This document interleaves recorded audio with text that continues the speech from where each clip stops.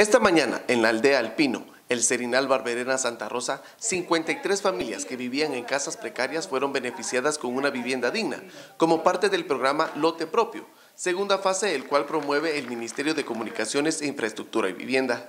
En el evento de la entrega de los inmuebles participaron el viceministro de Vivienda Carlos Varillas y autoridades locales. Este programa procura la construcción de casas en terrenos propiedad de las familias beneficiadas, con el fin de mejorar las condiciones de vida de las personas, precisó Varillas. Las edificaciones miden 36 metros cuadrados.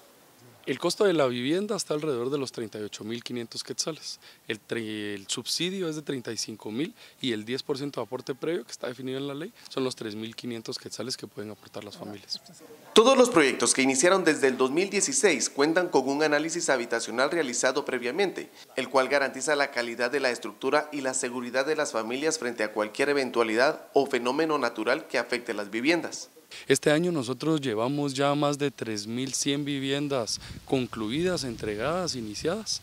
Eh, prácticamente estamos en el 85% de ejecución del presupuesto. La meta es que a finales de julio, principios de agosto, concluyamos ya con el presupuesto. Y es importante señalar que ya iniciamos una gestión ante el Ministerio para que se nos puedan dar 100 millones de quetzales más para continuar beneficiando a más familias este año y construir más casas. La inversión actualmente va alrededor de los 110 millones de quetzales. Se concluirían con 122 millones, que es el presupuesto que se nos otorgó, y los otros 100 millones que estamos solicitando adicionales, por lo cual esperaríamos cerrar el año con una inversión de 222 millones de quetzales. Para el 2018 solicitaremos 500 millones de quetzales para seguir apoyando a más familias guatemaltecas, concluyó el viceministro de Vivienda. Para DCATV informó Noé Pérez.